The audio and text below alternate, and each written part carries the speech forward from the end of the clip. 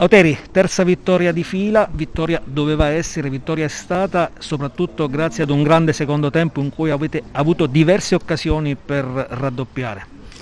Ma al secondo tempo la partita l'abbiamo sbloccata, però anche nel primo tempo abbiamo fatto bene, come squadra sicuro perché dal punto di vista dell'aggressione sul, sul loro possesso avremmo fatto 12-15 break importanti, anche alti, soltanto che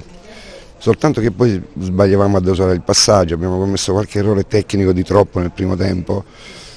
ma ugualmente eravamo stati in grado di costruire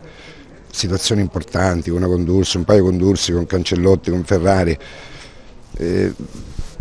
concedendo poco, poi è chiaro che la partita l'abbiamo sbloccata e, e dopo abbiamo avuto tante altre possibilità, nel frattempo dal punto di vista difensivo siamo rimasti sempre molto compatti, anche se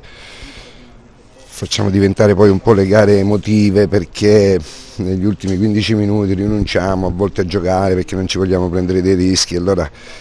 però siamo stati risoluti perché comunque i tre davanti li abbiamo sempre mantenuti, loro un po' si sono scoperti e poi abbiamo avuto veramente tante possibilità per chiudere la partita. Abbiamo fatto una buona gara, abbiamo giocato da squadra,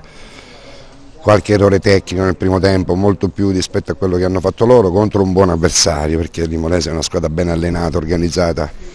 e secondo me si tirerà fuori, è stato un bel banco di prova per noi. Poteri, vittoria più importante per la classifica o per il morale a poche ore dal derby di Ancona?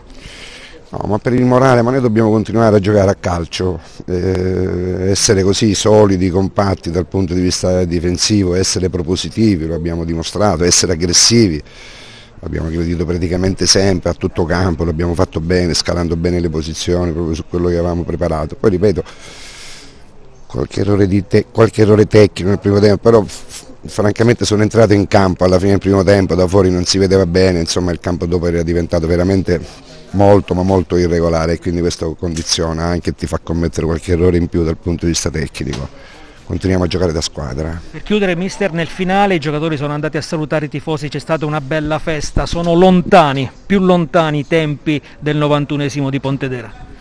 ma noi sappiamo che i tifosi ci vogliono bene, che amano la maglia, poi dipende sempre da quello che facciamo noi, noi dobbiamo accettare le critiche, i fischi, ma perché è giusto così, loro fanno sacrifici, vengono, noi lo facciamo per professione, anche se